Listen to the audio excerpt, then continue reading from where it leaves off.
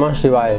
भाद्रपद मास शुक्ल पक्ष शनिवार त्रयोदशी तिथि पूरे दिन लगी रहेगी। चंद्रमा धनिष्ठा नक्षत्र के शेष दो चरणों में आज भी शाम सात बजकर पैंतीस मिनट तक चलते रहेंगे। तत्पश्चात सतभिषा नक्षत्र में प्रवेश कर जाएँगे, जिसके नक्षत्र स्वामी राहु है।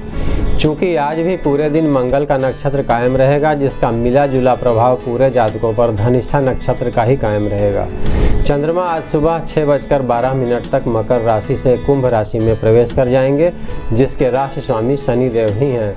मगर आज पूरे दिन चंद्रमा कुंभ राशि में ही चलते रहेंगे। जिस पर बृहस्पति की पांचवी दृष्टि और शनि की तीसरी दृष्टि लगातार पड़ती रहेगी और नक्षत्र सुबह से शाम सात बजकर पैंतीस मिनट तक मंगल का ही कायम रहेगा, जिससे विभागीय सहयोग बना रहेगा, पारिवारिक प्रेरणा सकारात्मक रूप से मिलती रहेगी, मगर मन में अंतर्द्वंद और निर्णय लेने की क्षमता भी प्रभावित होती रहेगी। हालाँकि प्रबल उत्साह और सकारात्मक कार्य ऊर्जा पूरे दिन हर काम में सहयोग करेंगे और उद्देश्यों की पूर्ति में गुरु का सहयोग सहायक होगा।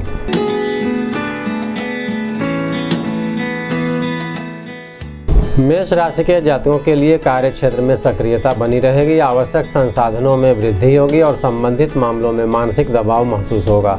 आर्थिक लाभ मन मुताबिक मिलता रहेगा। साझेदारी के में लाभ मिलेगा और सरकारी कामकाज पूरे होंगे। अपेक्षा के अनुरूप सकारात्मक प्रेरणा मिलेगी और कार्य क्षेत्र की निरंतरता बनी रहेगी। संतान संबंधी चिंता महसूस होगी।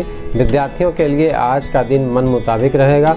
निजी संबंध प्रगाढ़ होंगे। वैवाहिक मामलों के लिए आज का दिन अनुकूल रहेगा। और निजी निवेश की प्रेरणा बनी रहेगी।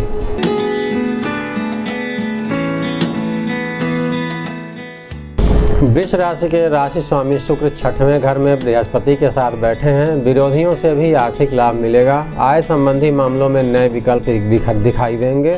बौद्धिक क्षमता का विकास होगा, राजनीतिक व्यक्तियों से मुलाकात और स्वास्थ्य के प्रति संवेदनशीलता बनी रहेगी। मगर कार्य योजनाओं के लिए तात्कालिक निर्णय सोच समझ कर लेना चाहिए। पारिवारिक संबंधों में मधुरता कायम रहेगी और धार्मिक यात्रा या प्रवास संभावित है। विद्यार्थियों के लिए आज का दिन सहयोगी रहेगा। संतान संबंधी मामलों में शुभ समाचार मिल सकता है और पारिवारिक दायित्व की पूर्ति में मन लगेगा। वाहन सावधानी से चलाएँ और स्वास्थ्य संबंधी आवश्यक सावधानी बनाए रखें।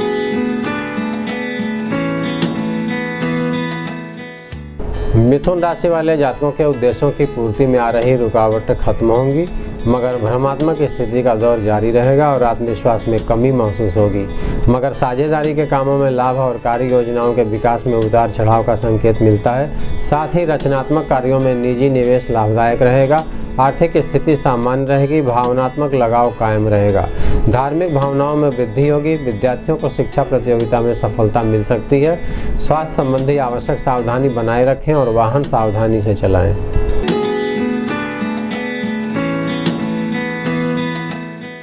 कर्क राशि के राशि स्वामी आठवें भाव में चल रहे हैं। स्वास्थ्य संबंधी सावधानियाँ रखनी चाहिए।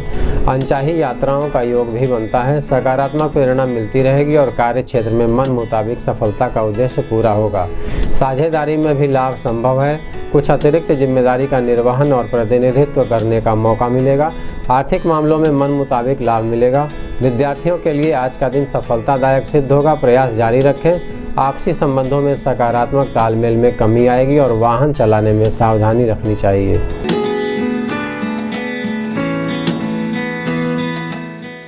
सिंह राशि के राशि स्वामी सूर्य धन भाव में बुद्ध के साथ चल रहे हैं। आर्थिक लाभ मन मुताबिक बना रहेगा। कार्य योजनाओं की निरंतरता बनी रहेगी और व्यावसायिक विकास का संकेत मिलता है। मगर साझेदारी के मामलों में सावधानी अपेक्षित है। निजी संबंधों में सुधार होगा। कार्य क्षेत्र के प्रति विकास और रचनात्मक पहल करने के उद्देश्य में व्यस्तता बनी रहेगी।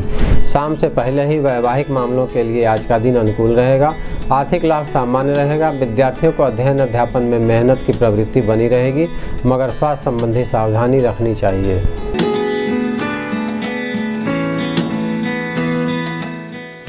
कन्या राशि के राशि स्वामी बुद्ध उच्च के होकर सूर्य के साथ राशि पर ही चल रहे हैं। स्वास्थ्य संबंधी मामलों में बेहतर महसूस करेंगे। आर्थिक लाभ और निजी सुख संतुष्टि में वृद्धि होगी।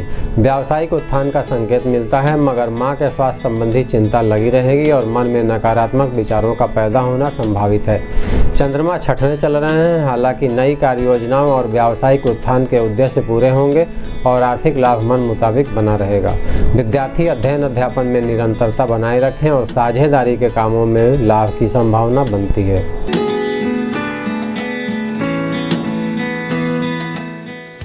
तुला राशि वाले जातकों के कार्य क्षेत्र में सावधानी रखनी चाहिए। हालाँकि सकारात्मक प्रेरणा बनी रहेगी। विकास और आवश्यक संसाधनों में सहयोग मिलेगा। शासन सत्ता व अधिकारियों से लाभ संभव है। रुके हुए सरकारी कामकाज पूरे होंगे और आर्थिक लाभ की स्थिति संतुष्टि दिलाने वाली होगी। मगर विचारों में उद्वेग और जल्दबाजी की भावना संभावित है। निजी निवेश के लिए आज का दिन अनुकूल रहेगा। विद्यार्थियों को शिक्षा प्रतियोगिता में सफलता मिलेगी। निजी संबंध प्रगाढ़ होंगे और स्वास्थ्य संबंधी जटिलताओं में सावधानी अपेक्षित है।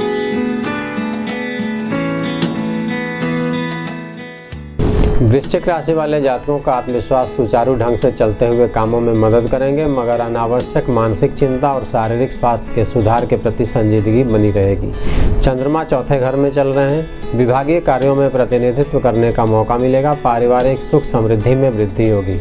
चंद्रमा का मंगल के नक्षत्र में होना अनुकूल परिस्थितियाँ पैदा करेगा और मन मुताबिक लाभ की दर बढ़ी रहेगी। मगर माँ का स्वास्थ्य सामान्य रहेगा। विद्यार्थियों के लिए आज का दिन उत्साहजनक रहेगा। प्रयास जारी रखें और वैवाहिक मामलों के लिए शाम से पहले का समय अनुकूल रहेगा।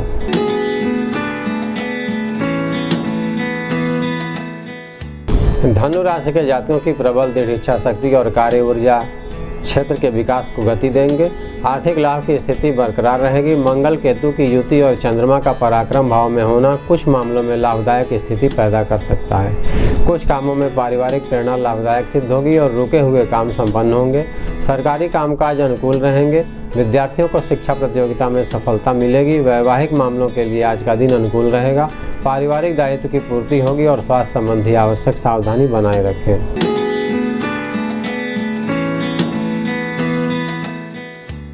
मकर राशि वाले जातकों के लिए आर्थिक क्षेत्र को सुदृढ़ बनाने में मदद मिलेगी। चंद्रमा दूसरे घर में चल रहे हैं। घर गृहस्थी में तनाव, विचारों में भिन्नता और अपव्यय का संकेत भी मिलता है। कार्य क्षेत्र में प्रतिनिधित्व करने का मौका मिलेगा और नई कार्य योजनाओं के लिए विभागीय सहयोग बना रहेगा। आपके प्रयासों में शासन सत्ता व अधिकारियों का सहयोग भी कायम रहेगा। साझेदारी लाभदायक रहेगी। आर्थिक लाभ मन मुताबिक मिलेगा। विद्यार्थियों के लिए आज का समय अनुकूल रहेगा, मगर स्वास्थ्य संबंधी आवश्यक सावधानी बनाए रखें।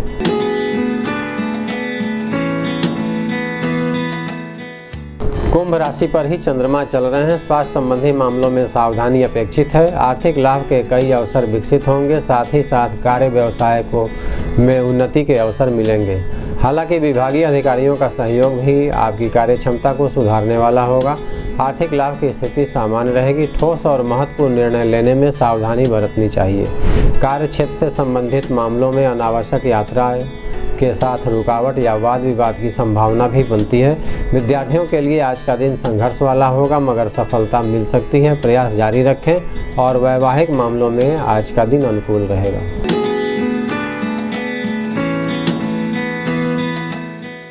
मीन राशि के राशि स्वामी शुक्र आठवें भाव में चल रहे हैं अनावश्यक वाद विवाद की स्थिति बनी रहेगी, मगर निजी निवेश और कार्य क्षेत्र से संबंधित संसाधनों में लाभ की स्थिति संभावित है।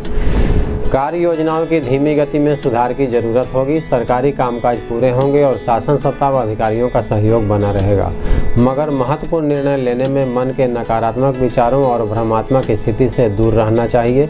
चंद्रमा बारहवें हैं। आर्थिक मामलों में खर्च की स्थिति बनी रहेगी। विद्यार्थियों के लिए आज का दिन मेहनत वाला होगा, सफलता के लिए प्रयास जारी रखें और संतान संबंधी मामलों में चिंता और अनावश्यक यात्रा का संकेत भी मिलता है। आज के लिए बस इतना ही। कल फिर मिलेंगे। ओम नमः शिवाय।